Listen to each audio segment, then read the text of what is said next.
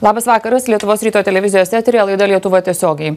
Dar viena tragiška netektis Lietuvos alpinistų bendruomenėje. Kirgizijos kalnuose žuvo alpinistas Saulis Saikauskas. Jis kartu su bendražygiu Kestučiu Skrupskeliu kopė į Laisvosios Korejos viršūnę. Taip vyrai norėjo paminėti Lietuvos šimtmetį.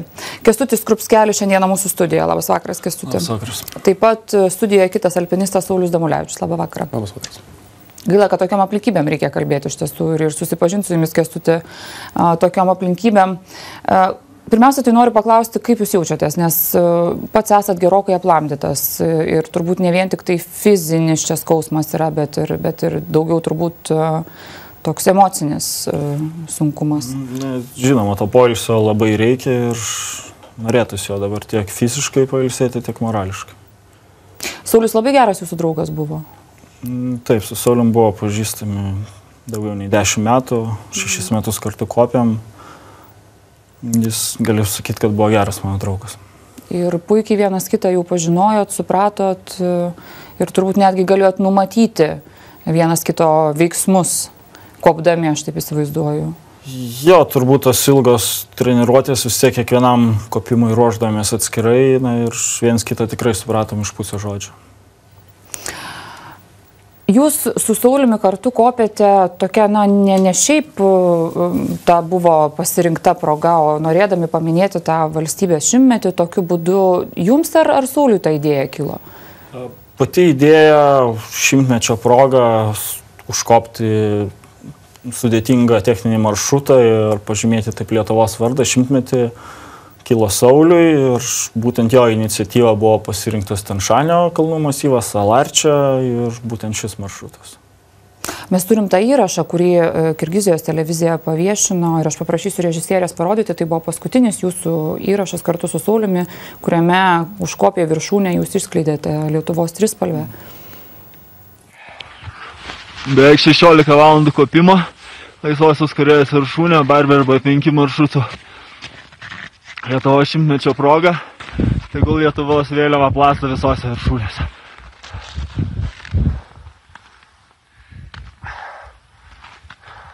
Matosi kas nors.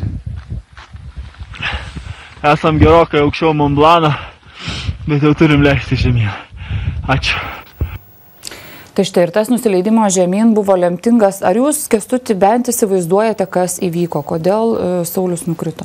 Mm, tai iš tiesų tai neturiu jokių minčių, na, galiu tik tai spėlioti, bet nenoriu užsimti spėliojimais. Nesusidėjo turbūt daugelis aplinkybių, buvo tamsu, mes abu jau buvom pavargę, bendroji sumoji nuo mūsų išėjimo iš stovyklos, kur nakvojame, iki Sauliaus nukritimo buvo praėję beveik para, 20 kelios valandos. Sunku pasakyti, kas atsitiko. Galėjo iš viršaus tiesiog atliekti akmuo ir numušti Saulę. Jūs pasakojot, kad, mm, kai pasakojot apie tas aplinkybės, kad jūs kopėte žemyn ir Saulis pro jūs tiesiog pračiožė, pralėkė jau rėkdamas. Ar tuo metu, na, nežinau, ar, ar, ar jūs, sakykime, supratote, kas įvyko, ar dar galvojate, kad galite jam kaip nors padėti? Na, tuo momentu vis tiek kažkiek tai išgyveni ir emociškai visą tai ir tie pirmie veiksmai, kuriuo ėmiausi Sauliui praskridus pro mane, tai visų pirma bandžiau su juo susisiekti per raciją, mes turėjom mm. tarpusą ryšį racijoje, bandžiau šaukti į tamsą, bet nieko, žinoma, ne. jokio atsakymo nebuvo, kažkiek desperatiškai bandžiau leistis iš karto tą kryptim, kur jis krito, bet na, vėliau susivokęs supratau, kad tas aukštis yra na, tiesiog per didelis, kad tikimybė išgyventi būtų. Sauliau, jūs, jums pažįstamas šitas maršrutas yra? Tas, kuriuo štai kestutis su Sauliumi. Man suprantamas sudėtingumas, gal taip geriau sakyčiau. O ką reiškia suprantamas sudėtingumas? Gal jūs galit, na, bent jau, na, nežinau, pamėginti nuspėti, kas galėjo nutikti? Kas galėjo nutikti, tai kaip ir sako, to prasme, gali būti kelios aplinkybės, kurios lėmė būtent šitą kritimą. Mhm. Alpinistai leidosi standartiniu metodu tokiausiose vietose, kaip leidžiamasi, tai dėl to buvo jie nesusirišę viena virve, kadangi virvės naudojamos būtent tik tais nusileidimui. Mhm. Kestutis laukė ten toje stotyje. Kas atsitiko tiksliai, turbūt parodys tyrimas, kadangi tą darys tiek e, gelbėtojai e, Kirgizijoje, tiek turbūt ir Alpinizmo asociacija vykdys atskirą tyrimą, kadangi iš turimos įrangos rastos paskui galima nuspėti tam tikrus dalykus, kas galėjo lemti. Bet čia suprantu, su visa įranga nukrito. Tai buvo, ar ne? Taip, Saulis nukrito su visom virvėm ir visa įranga, kuri tuo metu buvo ant jo aprašų. Tai reiktų suprasti, kad kažkur neužsikabino arba kažkas nuslydo. Arba tai, buvo kokia nors jėga iš, iš išorės. Iš principo kuri... klausimas, e, kodėl, kokia jėga lėmė, kad e, saugos taškai šito vietoje netvaikė. Ar tai buvo akmens kažkoks tai perkirtimas, pavadinkim tų taškų, ar tai buvo žmogiška klaida, dėl ko įvyko atsikabinimas, pavyzdžiui, nuo virvių, ne nuo, tiksliau sakant, šito vietoje nuo saugos taškų. To pasakyti negaliu. Mhm. Kestuti, ar kai jūs kopėte, na nežinau, jūs šešerius metus, sakėt, su Saulim kartu kopėte į, į, į, tas, į, į kalnus, į viršukalnės, tai, na, tarkim, šiuo atveju, ar buvo kokiu nors klaidų kopiant? Na, iš tiesų kažkokiu tai klaidų esminių turbūt nebuvo, mes pakankamai greit judėjome maršrutę, nors žinom, kad jis sudėtingas. E, planavom per 24 valandas sulipti visą maršrutą ir nusileisti per šiek tiek mažiau nei 16 jau buvo maršruto viršuje. Tai Bet buvot pavargę, galėjot, pavargę. Nes, galėjot nesileisti, ar ne? Galėjot, ta prasme. E, na, nesileisti tokios kaip ir priemonės nebuvom numatę, nes visgi yra 5 km aukštis, žiema šalta, šaltis tikrai apie minus 30, stiprus vėjas, nėra patogios vietos nakvyniai, tai reiktų miegoti sėdint. Todėl buvo iš anksto jau suplanuota, kad mes pasiekėm viršūnę ir leidžiamės tuo pačiu maršrutu. Mhm. Jūs pats juk po to, kai Saulis nukrito, kurį laiką dar kabėjote ant viršūnės. Tai aš įsivaizduoju, kad ten minčių galvoje buvo visokiausių. Na taip, iš tiesų jau šiek tiek apsiraminęs, supratau, kad daug tų išeičių neturiu ką dabar daryti, tai arba laukti, kol ateis pagalba, nes nei vienu racijos kanalu nepavyko susisiekti nei su gelbėtojais, nei su apskaitai kažkuo gyvu, telefonas žinoma tose apylinkėse neveikia. Mhm. Tai priemiau sprendimą tiesiog laukti ryto ir prašvitus leistis pats jau be saugos. Ir 26 valandas iki stovyklos Na čia ne visai taip, iš tiesų iki to ledino, iki nusileidimo aš keliavau apie 12 valandų, tada stovykloje, na, tokia met, metalinėme namelėje tiesiog pernakvojau. Be kelias... durų, kiek aš žinau, ne? Tas, be durų tas namelis. E, taip, jis toks visiškai atviras. Mm. Jame pernakvojęs po 5-6 valandų kėliausi ir iš ryto išėjau į bazinę Ratseko stovyklą, tai va iki jos ėjau tas 26 valandas. Paprastai tas atstumas įveikiamas per 2-2,5 valandos. Tiesiog mano sužeidimai neleido man greitai judėti, tai, tai užtruko daugiau nei parą. Žinot, e, labai nemalonu iš tiesų ir, ir netgi turbūt labai taip žiaurokai nuskambės, bet toks įspūdis susidaro, bent jau pastaraisiais metais, stebint į va, tokias tragiškas Lietuvos alpinistų nelaimės, kad vos ko ne kiekvienais metais tiem kalnams prireikia aukos. Kaip kažkokia tendencija. Kaip gal ne kiekvienais, iš tiesų, aš suskaičiavau, kad nuo 59 metų žuvo 21 Lietuvos alpinistas. Kaip čia galima paaiškinti, Sauliu, gal nežinau, čia reiktų galvoti apie pasirengimą ar, ar, ar apie kažką, ar čia tiesiog tokie dalykai na, nenumatomi ir, ir čia visgi nesusiję su, su, su kažkokiu pasiruošimu. Aš manau, kad kiekvienas atvejis, kuris nutiko, tai yra individualus labai ir skirtingos aplinkybės lėmė tos e, nelaimingus atsitikimus. Iš esmės, tai turbūt nuo nepriklausomybės laiko susiformavo jau nauja karta alpinistų, kurie stengiasi vykdyti dabar aukštus sportinius normatyvus tam tikrus, stengiasi konkuruoti vienas su kitu, dalyvauja čempionatuose, tai mes turim tokius vertinimus ir tai yra vienas iš sportinės mūsų, ta prasme, alpinizmo dvasios elementų. Mm. Siekti aukštesnių tikslų, techninius, kopiant sudėtingesnius visi kopimus. Ir šitie alpinistai Saulis ir Kestutis, jie yra nekarta buvę ir Lietuvos alpinizmo čempionato, ir Baltijos alpinizmo čempionato laureatais ir prizininkais. Tai mm, Pasirengę, stipriai pasirengę. Stipriai, stipriai pasirengę. Ir reikia pasakyti, kad va, ta viršūnė ir tas maršrutas, kurio kopė, tai tarkim, šitos laisvos Korejos kalną kopintis alpinistai net sovietų laikais, tai dažnai būdavo jau Sovietų sąjungos prizininkais. Ypač jeigu pirmas įkopimas būdavo vykdomas, tai yra na, labai aukštas normatyvas labai aukštinis techninis pasirengimas reikalaujamas. Ir be abejo, tada yra ten daug pavojų šitą, kurie gali nutikti ir tas sudėtingumas lemia tam tikrus dalykus. Dar prisideda ir žiema, ne, va, tie dauguma nelaimingų atsitikimų, kur nutinka, tai būtent žiema. Ir nepamirštam irgi, tai bet nusileidžiant 80 procentų beveik nelaimingų atsitikimų bendrai, vat, jeigu žiūrint alpinistų statistiką šitą neigiamą įvyksta, kadangi žmonės yra pavargę, žiemą tai dar diena trumpesnė, reikia dirbti šalčio sąlygomis, atsiranda daug techninių visokių kliūčių ir jeigu pasikeičia meteorologinės sąlygos ar kažkokia vat, lavina gali būti griūtis, tai viskas akumuliuojasi labai greitai. Bet kodėl tokia trauka tiem kalnam?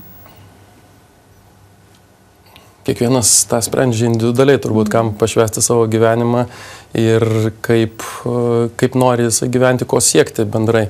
Ar užtenka tik tais e, kažkokiam rutulė savo gyventi, ar nori siekti daugiau, išbandyti save, tai sportinė įstra yra. Tai jūs, jūs, jūs esate sakęs, kai kalnai pašaukia, reikia eiti, tokia jūsų frazė yra. Bet yra toks dalykas, aš skaičiau, kadangi šiandien tikrai daug skaičiau apie, apie, apie patį alpinizmą, apie tai, kokie, sakykime, kaip, na nežinau, kokie prietarai yra alpinistų bendruomenėje. Tai yra toks dalykas kaip skambučiai iš aukščiau. Ta prasme, jeigu kažkas panašaus nutinka, kaip, kaip tarkim jum nutiko, tai jau yra signalas, kad galbūt jau kitas iki nebebandyti arba, na nežinau, kurį laiką palaukti, kad visgi tai yra, na, tam tikras ženklas, kad galbūt sustoti. Ar jūs tai stabdo, kestuti visą šitą situaciją? Na, turbūt apsisprendimui reikės laiko tiesiog. Mhm. Ir fiziškai, ir morališkai pailsėti ir tada tą sprendimą priimti. Gal jums yra žinoma, kaip laikosi Sauliaus šeima, nes jeigu aš neklystu, jūs, jūs sakėt, kad jam buvo 42 metai, ir, ir liko dukra ir visiškai sunus mažytis. Gal jums teko bendrauti su šeima ir kaip jie šiandieną? Mm, teko bendrauti su jo žmona Šarūnė iškart po įvykių ir suradus Sauliaus kūną. Mhm. Na žinoma, jai yra sunku ir sunku net suvokti, ką jis šiuo metu išgyvena. Mm, nežinau, turbūt čia tik jį pati galėtų apie tai pakomentuoti. O ką jis veikia gyvenime be alpinizmo? Gal jūs šiek tiek galite apie, apie jį papasakot, kaip, kadangi puikiai jį pažinojote? Kiek žinau, jis buvo IT srities specialistas, mhm. valstybinėje įmonėje dirba. Kas jam buvo kalnai, gal, gal jūs žinot? Na, tarkim, vis tiek turbūt jūs pasikalbėdavot kopdami. Na, šitoje vietoje Saulis tikrai buvo atviras, kalnai jam buvo labai svarbus ir hobis, ir gyvenimo dalis. Ir turbūt labai svarbu paminėti, kad nuolatos, turbūt jau tiek metų, kiek aš jį pažįstu, jis skirdavo jaunųjų alpinistų mokymui.